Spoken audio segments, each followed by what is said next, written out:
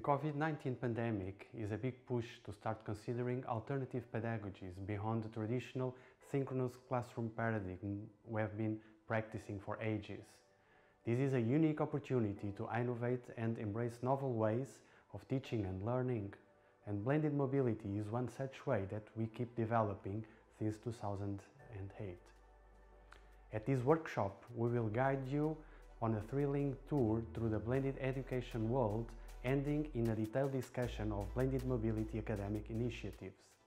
By the end of the workshop, you will have all the information, the tools and the contacts you might need to set up and run your own blended mobility course from scratch. Don't miss this opportunity. Take the gateway to the world of blended mobility and open new horizons to your students, assuring high quality sustainable education.